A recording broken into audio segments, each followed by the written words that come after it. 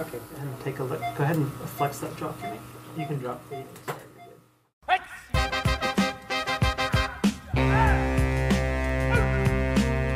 What we're doing is we have a military working dog that needs to go in for routine dental service. Uh, it's a little different this time because she is going in for root canal. She is a military member and just like all military members, they need medical care and upkeep. Obviously her mouth is her main weapon. So this is a huge opportunity to get her healthy and back into the fight.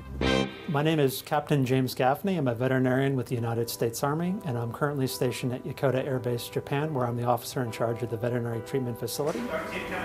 And this morning we're going to be doing a root canal on a military working dog. It's going to be a unique experience for us since we will actually be doing it with a human provider over in the, the dental group. When I combine these in the same syringe and inject Fflorida, uh, she should get pretty sleepy with it.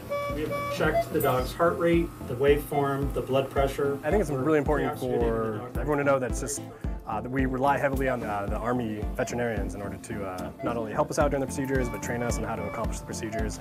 And uh, their, their skill is uh, invaluable. We obviously wouldn't be able to, to do the procedure without them. Usually we're working on humans every day, and so working on our military working dogs is uh, definitely unique. As that propofol burns off, we're going to need to increase the gas a little bit. So we finished Fflorida's root canal procedure, went very well, and I'm optimistic that in a couple of weeks, Working Dog Fflorida will be ready to go back to her patrol mission and that her bite will continue to be worse than her bark.